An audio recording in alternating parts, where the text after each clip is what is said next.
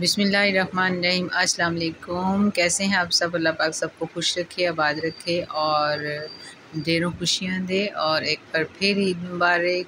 मेरी ईद मुबारक तो दो तीन दिन से शुरू हुई है तो आज हम जा रहे हैं। ये है अट्ठाईसवा रोज़ा तो हम जा रहे थे गाँव।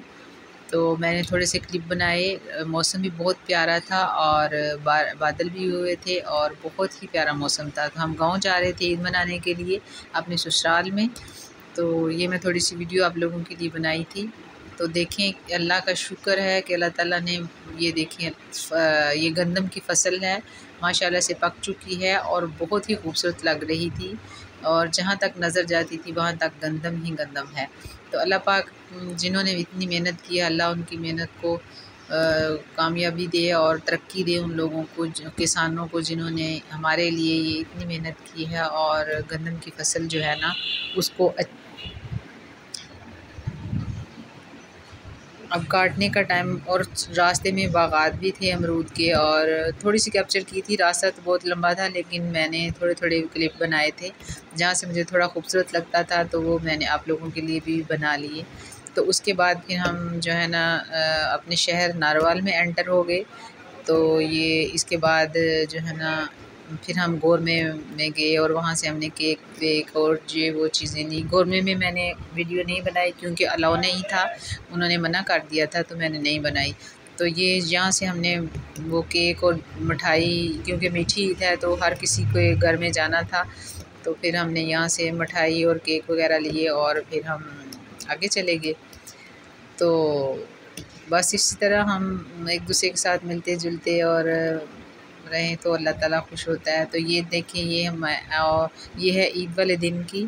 थोड़ी सी क्लिप मैंने बनाए बच्चों ने पहले ईद पढ़ी और खाया पिया और फिर छत पे आ गए छत पे आ गए तो ये खेलना शुरू हो गए, छोटे बच्चों की मैंने बनाई। जो जब ईद पढ़ने गए थे तब भी मैंने वीडियो बनाई, लेकिन वो मुझसे ना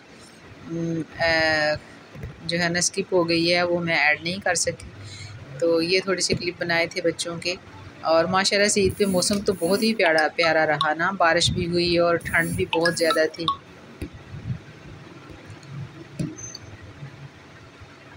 तो गाँव में बहुत ज़्यादा ठंड थी। लाहौर में इतनी ठंड नहीं है जितनी गाँव में है। सही बात है, वहाँ पे जाके तो मुझे सर्दी भी लगी इतना फिर उसके बाद हमने नीचे आ जाइए, नीचे चलते हैं, नीचे जाके कुछ पकाते हैं। फिर हमने पकाया। पहले सुबह तो हमने शीर खुरमा बनाई, वो मैंने आपको बताया। डिज़र्ट जो भी बनाते हैं, बनाई, सुबह रोज़ा रखा, ओ, ईद मनाई और खाया, पिया। और अब मैं, ये देखें, इधर बादल बहुत ज़्यादा हुए हुए थे और बारिश भी हुई थी साथ, मौसम बहुत ही प्यारा हो गया था। और ये देखिए मैं अपनी छत पे खड़े होकर आपको भी दिखाती हूँ बाहर का व्यू।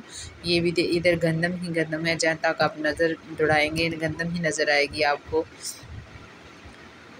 तो अब नीचे आ जाइए, ये देखिए, ये थी तकरीबन आठ किलो गोश्त था, ये मटन का था गोश्त और साथ ही कलेजी।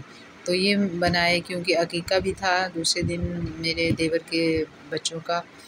तो ये देखिए, ये मैंने बनाए और बहुत ही मज़े का बना था ये भी। पहले मैंने इसको बॉईल कर लिया। बॉईल करने के बाद जो मसाला जाता है, उसे मैंने ग्राइंड किया और भून लिया। तो फिर इस पिज़्ज़ा भी बनाया। बस इस तरह इंजॉय किया ईद के दिन को। अब अगर मेरे